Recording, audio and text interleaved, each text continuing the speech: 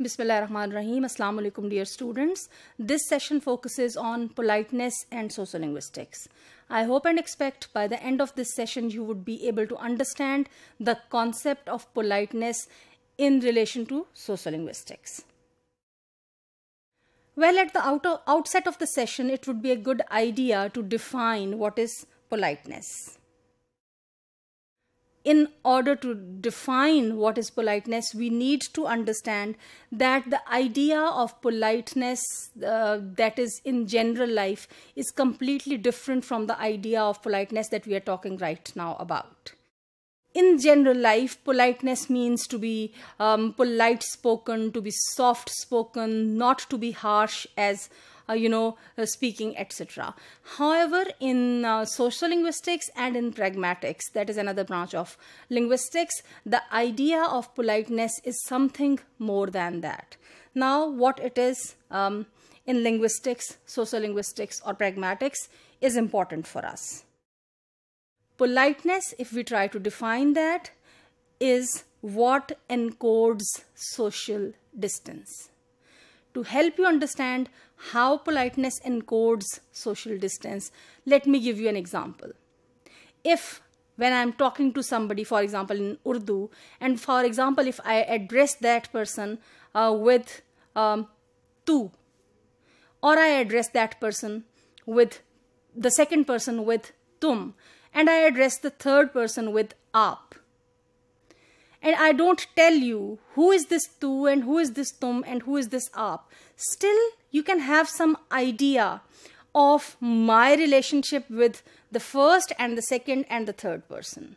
You can very wisely guess that the person whom I has I have addressed as tu is either a very a person who is very frank with me very friendly with me or is of lower status than me. The person whom i have addressed as tum is of equal status or is younger and um, you know um, the relationship is informal but not that informal as it was in the case of tu and the third person i have addressed as aap. That person you can understand very uh, easily is somehow superior to me. Superior in terms of social status class status professional status um, you know older in age for example um, or that person is very distant to me. I'm not very close to that person. That person may be a stranger to me etc you know stopping on a street i cannot address somebody as tu or tum. I would address as aap even the person if the person is younger to me. So you know how very close i am to somebody how very uh, distant i am to that person. My language choices would tell that. The way i would address that person would tell that. This is the basic idea of politeness in pragmatics and sociolinguistics. So politeness encodes social distance the kind of social distance that we have from somebody um, being friendly or being less friendly being formal or being informal etc it is encoded in language through politeness. So as you would have noticed in the case of my example politeness tells who speaks to whom. Politeness actually is a social norm.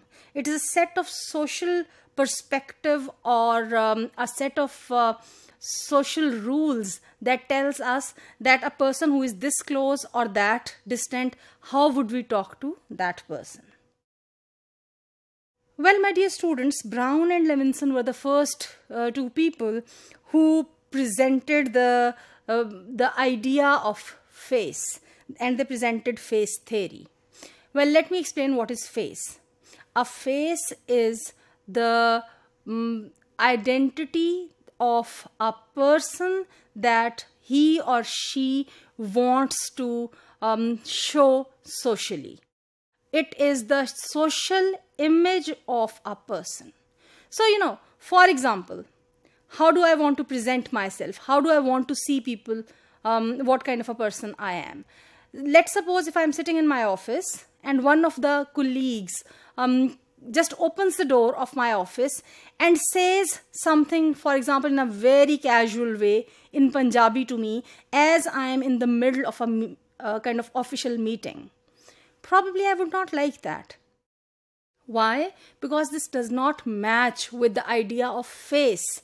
That is my image of myself in the society. Because I want myself to be projected as a very you know a profession oriented person who when in a professional role would uh, be in a meeting um, you know doing some professional work would like to be very formal in that so you know uh, this face theory is like how a person likes uh, himself or herself to be presented.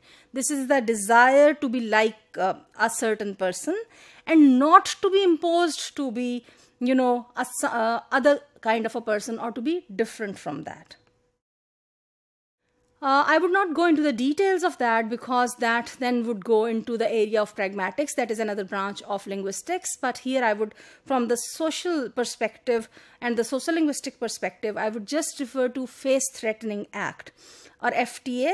A face threatening act is an act which deliberately threatens the face needs of the others.